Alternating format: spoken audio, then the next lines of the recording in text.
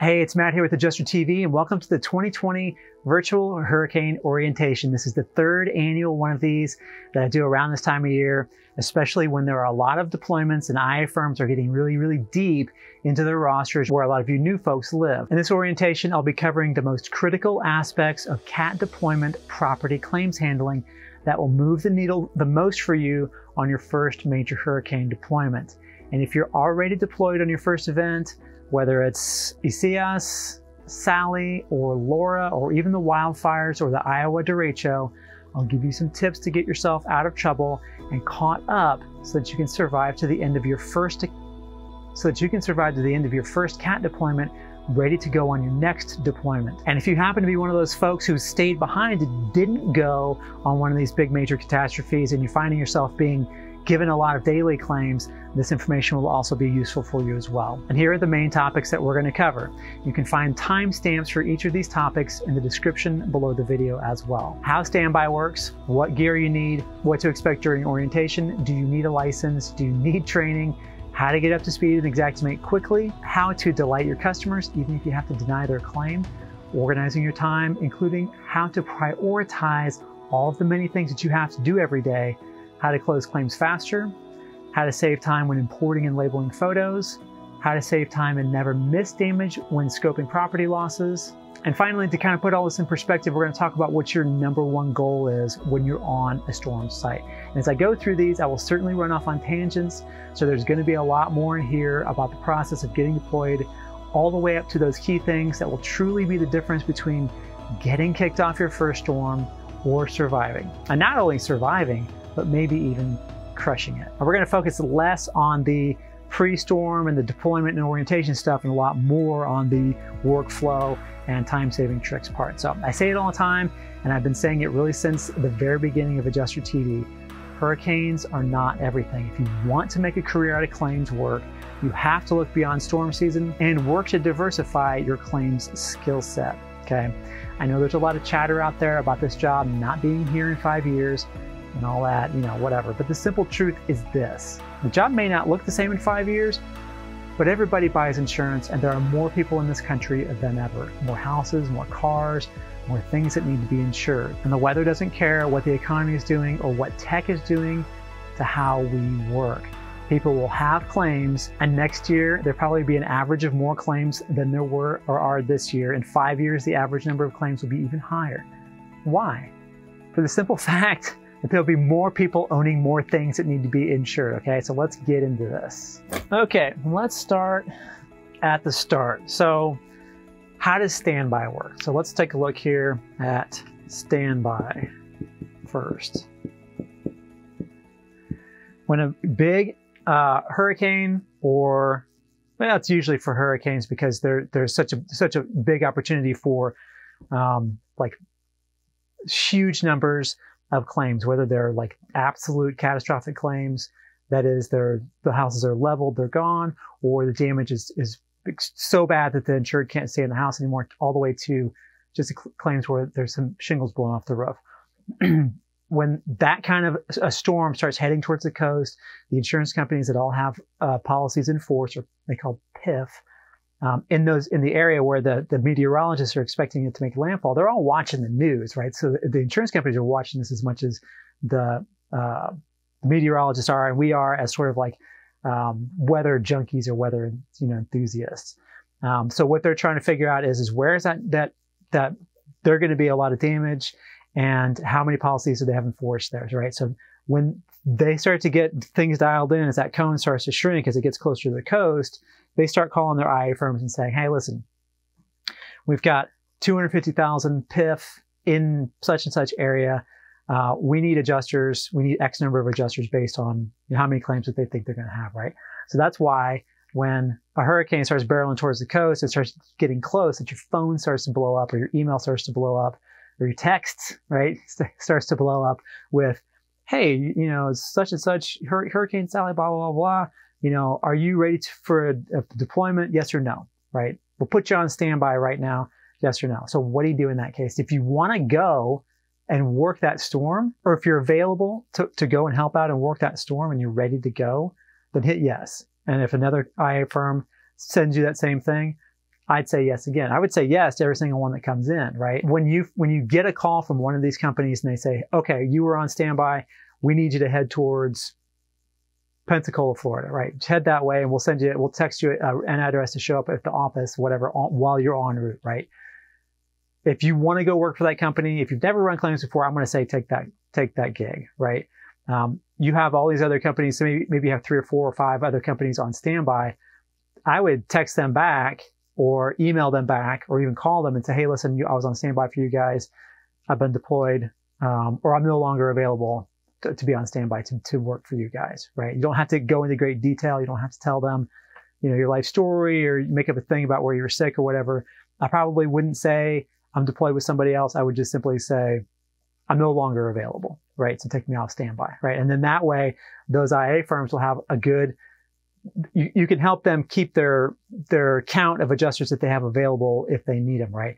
And the truth of the matter is, is that you may, if you said no to that first company and you're just going to wait for the one that you really wanted to say yes to or to call you to go, they may not have claims or PIF in in the area where the storm is, right? The storm may have shifted over here and all the PIF was here for this other company but now it's over here, right? So I would say if somebody wants to send you they, they, they want they tell you to pack your stuff up and go, you go. But you call all these other firms that you said yes to on standby, say, I'm no longer available, take me off standby. Thank you for thank you for reaching out to me. What, and that's it. Don't have to say anything else, right? That's pretty much in a nutshell, that's how standby works, right? So um, the next thing we're going to talk about here is well, gear. Yeah, let's talk about gear, right?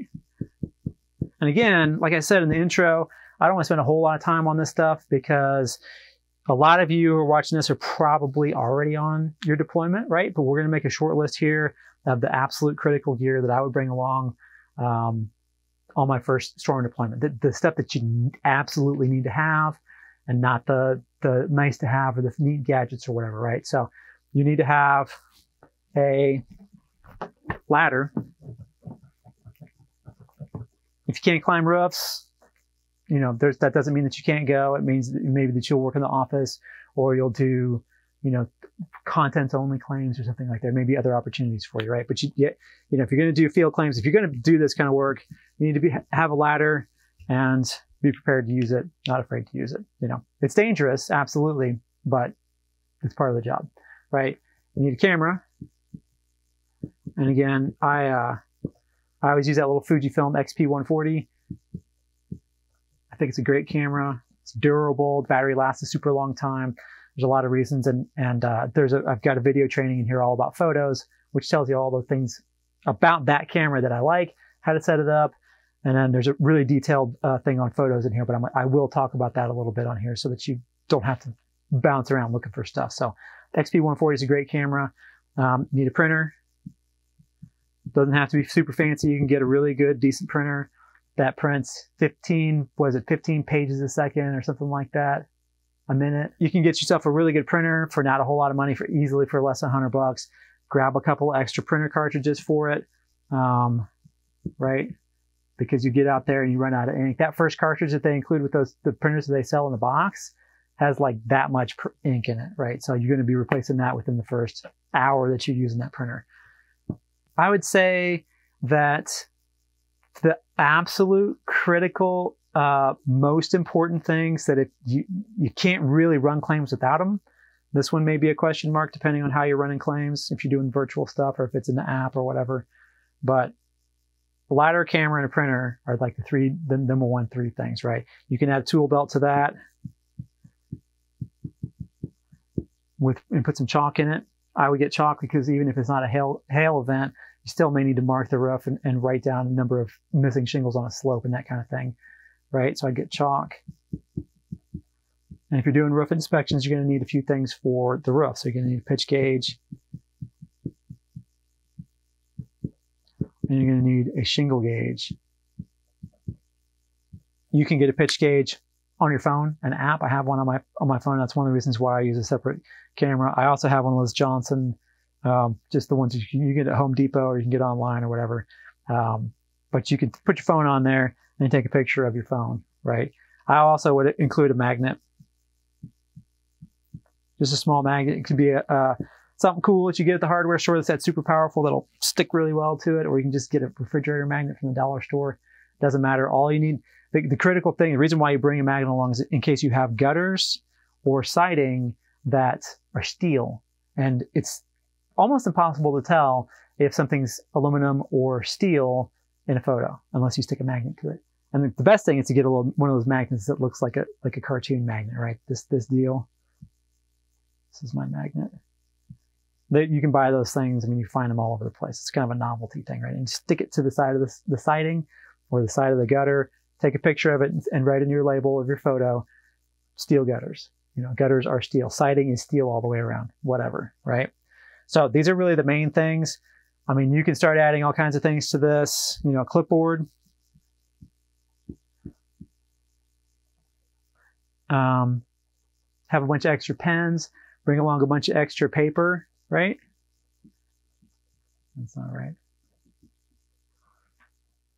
And that's really that's going to be like your core um, set of gear that you're going to need to have when you go on uh, a hurricane deployment. And you may find, depending on what kind of claims you get, like I said, you may not be using your ladder a whole lot. And if you're doing virtual claims or you're doing photo and scope uh, only, it may be that you don't really need the printer. Um, I'm still going to bring it along just in case. Um, and then there may be some in-app only work that you may be doing these days. You know, the technology is moving so fast that who knows what, you know, who knows what you could be doing. But I would say to, to be prepared, um, I would have this kit ready to go because you know, the thing about it is, is that you may get this stuff and then you get down there and you get into orientation. They say, okay, everybody download the app to their phone. This is what you're going to use, use to do your claims. And you've got all this other stuff here. You got a clipboard and all this. You don't, you're not going to need have most of this, a lot of this stuff, right? Except for your ladder. You won't need a camera printer. You're not going to need a clipboard. Um, but on your next deployment, they may send you, they may say, okay, Matt, you know, you got you wrapped up your 77 claims over here. We just had a pop-up hailstorm. This happens all the time on CAT. We had a pop-up hailstorm um, one state over. We see you have a Mississippi license. Um, head on over and do it. Just it's just it's traditional. You're going to be scoping and writing and settling with the insured. I'm going to need all that stuff, right? So I'm going to have it all in a bin, ready to go. So don't try to.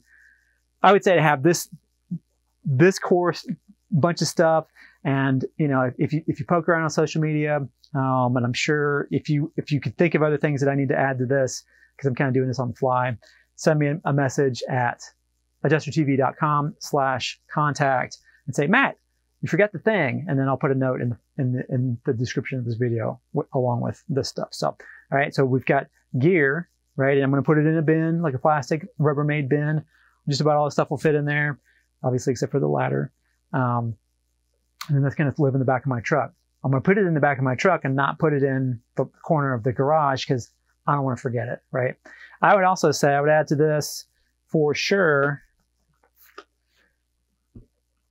to have clothes packed and in a bag and ready to go, as well as toiletries, right? So I'd bring along, I say this all the time, and it doesn't matter if you're flying a drone or if you're you know, doing scope only or whatever it is.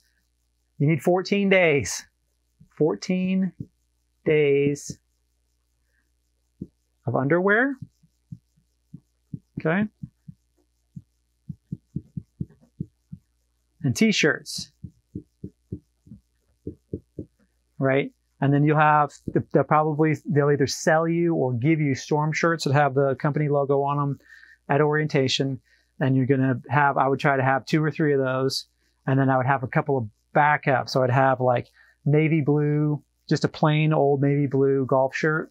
Just, I mean, just all polo shirts, right? Golf like style polo shirts, a little with the little collar and the, right? That's all I wouldn't do any other kind of shirt unless it's, unless it's wintertime and then maybe you can, you're going to be wearing a jacket a lot of time. And a lot of times you could be working a hurricane in the winter, right? Hurricane, um, oh my gosh, Hurricane Sandy, it got cold up there, right? So you're wearing a jacket that has a company logo on it.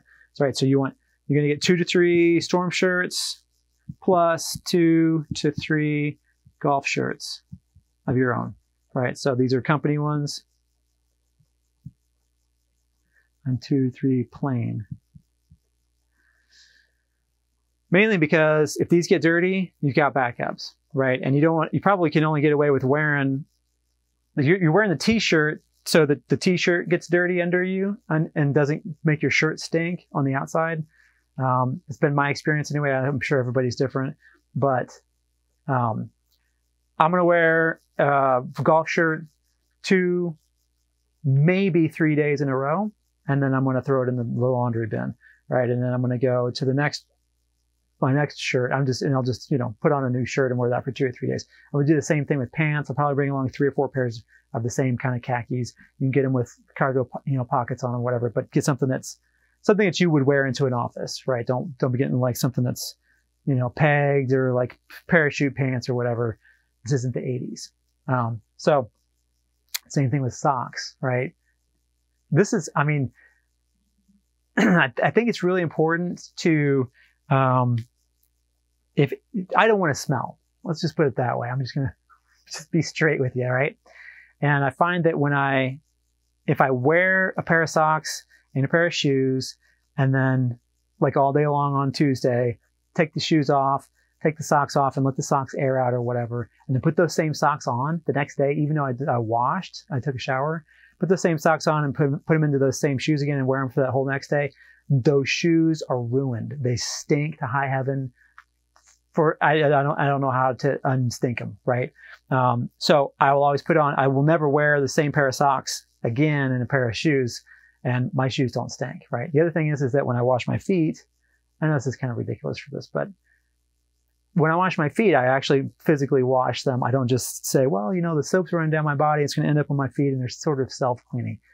If I do it that way, then my feet stink, right? So you don't want to show up at an insurance house and and be all stressed out and, and, and, because you're stressed you're also going to be like sweating more and you may have you may generate more body odor that way right?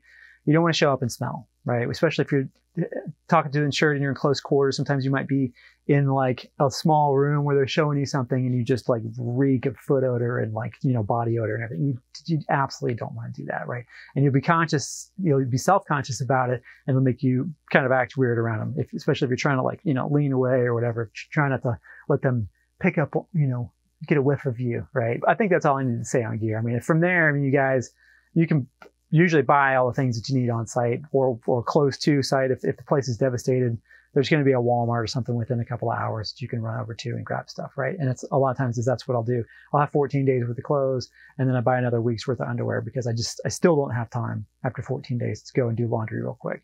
Okay. All right. Next up, we've got what to expect during orientation. And then we'll talk a little bit about resources that may be that may hopefully be available to you that, that, that but that may not be. The purpose of on-site orientation is to um, get you guys is to get you guys your storm shirts if they make them available to you, door magnets with the company logo on them, like you know whatever insurance company. Um, to get you customer service handouts if they're doing that. You know, when you after when you're at the insurance house, you may they may have you hand them a couple of pieces of paper that say, you know, here's the claims process and blah blah blah it's got company colors and it's a company thing, right? Um, also, they're going to, especially if you're brand new, they're going to have a big orientation meeting. Well, they're going to have a big orientation meeting for everybody um, where they talk about sort of the scope of damage, um, how, if there's any changes to what they've already been doing on other cats for people who have worked other cats. They'll introduce a team to you, and generally speaking, these these kind of uh, orientation meetings are going to be run by the the the overall cat lead manager, right? The person who is from the carrier who is responsible for the whole cat. That's like the general of the, the forces, right? And then you probably call people to talk about stuff like the QA people. They'll explain what they, the expectations and all that kind of thing, right? So you want to attend, you want to attend everything, every kind of meeting or every kind of training or whatever that they're going to offer at orientation. And the bigger companies are going to have more resources for this, right? So um, if you go with one of the major companies, they will have an orientation that will probably include a jumpstart Xactimate training. They'll have a training for the carrier's proprietary claims management system. Like, for example, Allstate has uh, NextGen and State Farm has ECS. They're going to show you how to use that stuff. They're going to do like a kind of a crash course, right? They'll do, they may do a roof process thing where they explain to you that, uh, give you guidelines and boundaries on what you can and can't do when you encounter damage, different types of damage on a roof. They'll explain what damage looks like. They're gonna they're gonna teach you all this stuff, and it's absolutely critical that you attend all these meetings. On Hurricane Katrina, I was sitting in a, in a, a training uh, session, and the guy sitting next to me, his phone started to blow up, and he was getting emails saying that he was getting new claims, and he like started to gather up his books and his laptop and everything and put them in his bag, and he's like, "I'm getting claims, I gotta go." I was like, "Dude, you better stay here and watch this, right?" Because he was brand new, he didn't know what he was doing, and he's like, "No, no, I mean, I gotta, I, I gotta." So he like got up and just marched out of the class, and the instructor was like, "Where's that guy going?" I was like, "He just got claims, right?" I don't know if that guy survived or not, but if he needed to be in that class, then he needed to stay in that class. Everybody that's sitting in that room is going to get new claims, whether it's right now or in 15 minutes or tonight or tomorrow or the next day, right? It doesn't matter. You have to take the training that they have and then you set aside time to make your contact calls, right? It's going to be tonight or tomorrow. You don't have to like immediately go and start calling those people.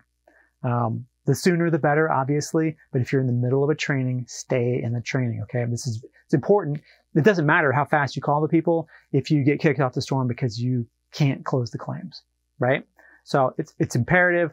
I think that, you know, as, as far as orientation goes, it may, it may be one day, maybe three days. It may be that you get, when you get called, uh, to go deploy, they may send you somewhere and they haven't got any claims yet. They don't, and they don't know exactly where everybody's claims are going to be. You may be just hanging out, right? So they will say, come in for these orientation trainings, pick up your shirts, pick up your door magnets, pick up your this, pick up your that. You know, if bring in your laptop, we'll help you set up your laptop, put some macros on, or we'll put a whatever on there. And then you hang it, you hurry up and wait, you hang out, right? And it may be two or three days before you get claims, or you may have gotten them on drive down. It doesn't matter. Go to orientation, take advantage of all that training, right? And the other thing is, is that especially with some of the bigger companies, they a lot of them will have what they call war rooms, or they'll have uh, help help rooms, right?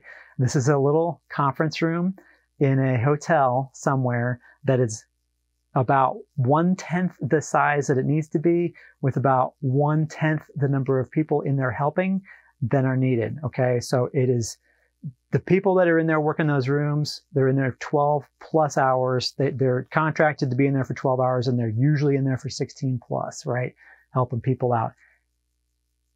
Show some respect to those people and don't show up and say, okay, I just got all these claims. What do I do now? If you do that, they're, they will, they will immediately, you'll be, you'll be like talking to them, looking right at them right in the face, and they will turn and go walk off and go help somebody else because you need to start working. You need to start making contact calls and you need to start scoping these lots and you need to start working on the estimates. If you don't know how to do any of that stuff, then it's, it's there's a good possibility that you probably shouldn't be on the cat, right? Because you're going to be, the, the chances of you washing out and in that circumstances are pretty high, right? So do whatever you can on your claims. Um, my recommendation is to do this, right? So I have a kind of a three on, one off and it's not a day off. Don't don't even think that. But it's basically three on, one off, and you can, you know, depending on what kind of claims you're getting and how you're doing the claims, this you can certainly create variations on this. But the basics, the basic idea, is that you do. And I'm kind of getting out of the orientation part and kind of going a little bit into scheduling here. But this, as far as time management, I'm gonna I'm gonna hit this as it as it relates to using the help rooms, which are one of the resources that you'll learn about in orientation, right? So three on and one off, which means you go scope for three days, um, right? And then you write for one, um, but this is not exactly what we would call like a day where you just write what I want you to do is to have your first appointment at nine o'clock in the morning, Monday, you know, whatever. Go to that house, scope that house, take all the photos that you need to take, write your scope on a piece of paper. Do not, under any circumstances, think that you're going to, I'll just scope for my photos. You know, I can be super fast. I can scope nine of these today. All I got to do is just go back and sit in my hotel room my underwear, and I can, I'll just write these from the photos. Do not do that. Write your scope down on a piece of paper on your scope sheet on a clipboard, right? That's what I would do. If you don't do that, the risk of you having an inaccurate claim that gets reopened, maybe you don't care about that. I do. I want to have the most accurate claim as possible, and I'm an experienced adjuster, so I'm going to. Brand new person, develop good habits, right? Write your scope down. Go scope that house. If it takes three hours, it takes three hours. That's noon, right? It's not 12 o'clock. Take that one claim and go to the help room and close that claim that day, Monday. But if, if you have to sit there until midnight, if, if somebody will let you do it, or if they get you to the point to where you can like finish everything else on your own, go back to your hotel room, close that claim that day. Day one, you have one claim closed. I'm going to tell you right now, this is, it doesn't matter if it's 1999 or this year, 2020, whatever. Five weeks from now, if you just showed up at a, at a hurricane, there will be people who don't have their claim in a single claim closed yet, but they have 70, 80, 100 claims scoped and none of them have estimates yet. I mean, I don't understand. How is that helping the insured? First of all. Second of all, how are you getting paid? You can't get paid until you close claims, right?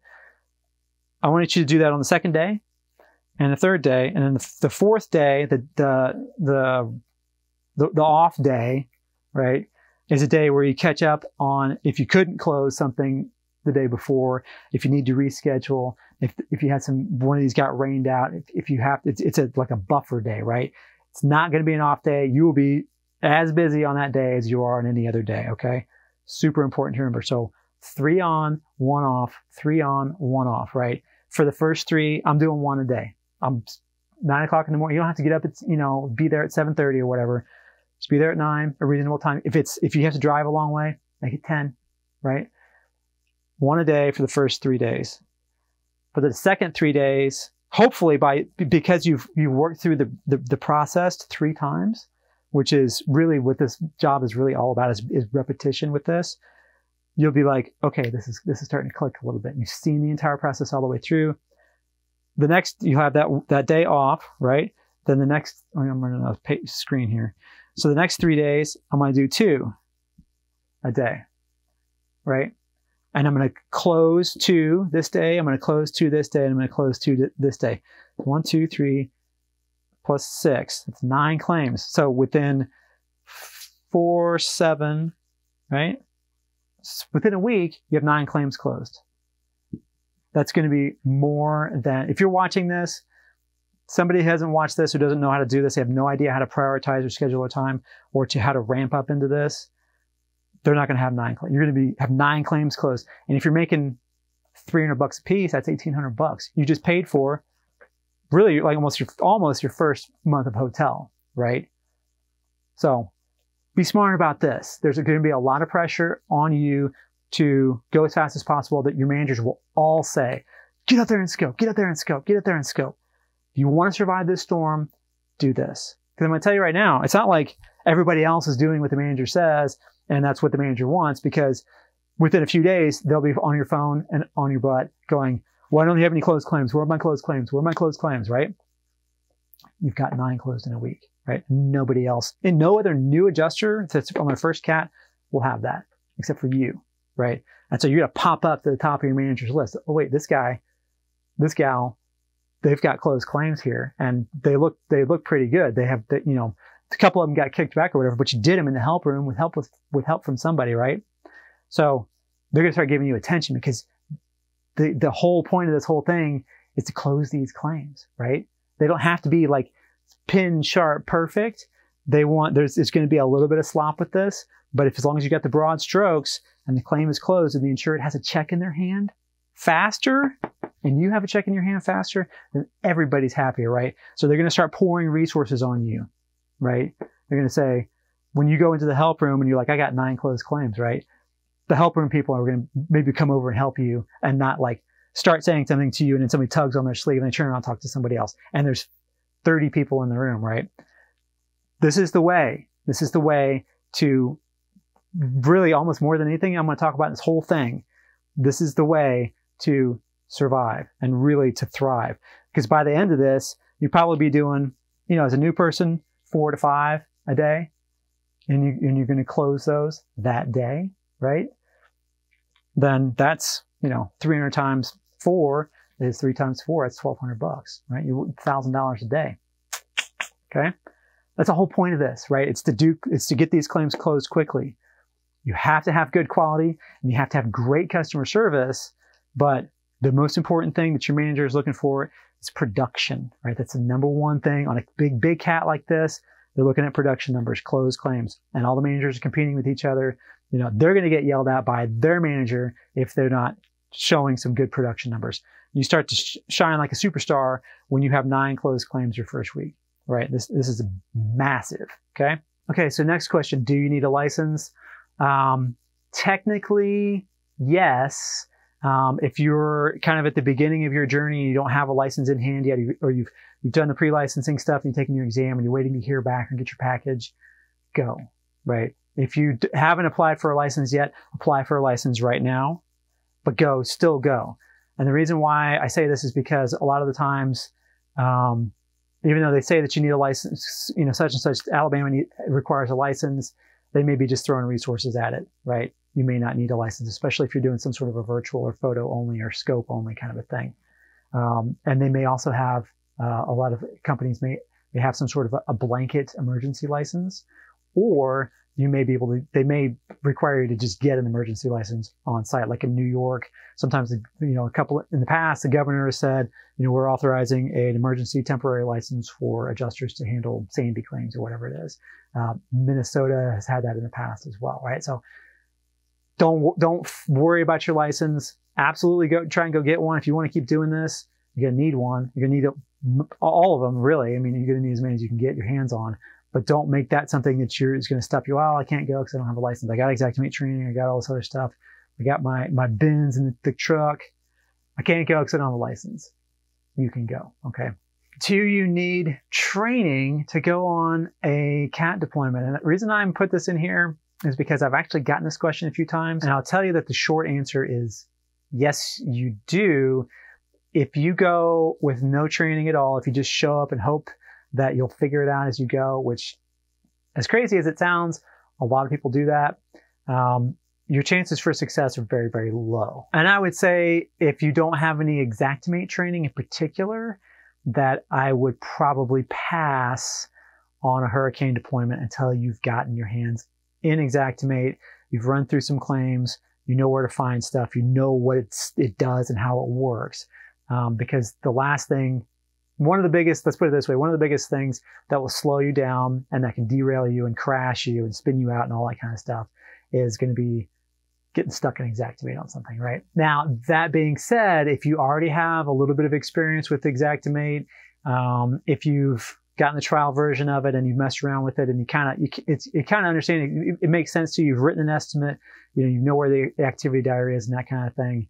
Um, I would say I've got a crash course for Xactimate X1 that kind of shows you how to get up and running uh, as an adjuster. There's not any like, you know, it's it's it's how to use Xactimate or how really how an adjuster like myself uses Xactimate. It shows a lot of workarounds, little tricks and things like that because Xactimate is is uh it's it's complicated. It's a complex piece of software, and there's some things that aren't. It's not that intuitive, right? Um, so I show my workflow, especially as it relates to running claims. So it's not just like um, here in this tab is this A, B, and C, and then next this tab this it's what it actually my training actually is is next thing you need to get you need to do in order to get this claim set up properly is to go to this tab and just fill out these two things here. Forget about the rest of that stuff. Go to the next tab. Make sure this is filled in. Make sure the coverages are this. Make sure the deductible is that. Then go to the next tab. Ignore the rest of that stuff, right? So it's kind of like the fast and dirty crash course for Xactimate X1. I also talk about um, how to do activity diaries uh, and with uh, including scripts. You guys probably, I mean, if you're watching this in Xactimate X1 or in uh, Adjuster TV Plus, you probably have already seen this training. It's the Xactimate X1 Max training that's in Adjuster TV Plus, so you probably have already had access to it. Um, I think that's a good a good way for somebody who's kind of gotten their feet wet already to uh, sort of see how Xactimate is used on real claims, right? And I go into depth about photos and all kinds of stuff like that, right? I don't do like a really super deep sketch demo because I think most fast adjusters don't use sketch for things more than like if, if they're doing large loss water claims and roof claims. We're not doing a water spot on the ceiling. I'm not doing sketch. I don't just I don't see the point in it. Um, it wastes time. Um, if you're replacing carpet in one room, I'm not doing sketch, right? Um, I would say that, and the, the, the, that training shows what I do instead in order to get accurate accurate numbers into that line item. Because really, the bottom line is, is you're you're concerned with the grand total of that claim, not whether or not you use Sketch or use a dimensioning tool, or you just added the numbers up on your hand and typed them in, right? All those things are perfectly valid ways of doing that. Um, so it's how this the training is how an adjuster is, is uses Xactimate to close claims quickly. Nutshell. Thank you for watching this little sneak peek of the virtual hurricane orientation. To watch the full video, click the link in the description below. And thank you so much for watching and have a great storm.